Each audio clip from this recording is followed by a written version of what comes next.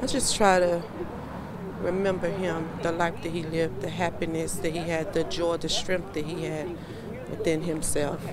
That's how I remember him. Um, I try not to focus on death so much, you know. As much as it hurts, I'm trying not to focus on that.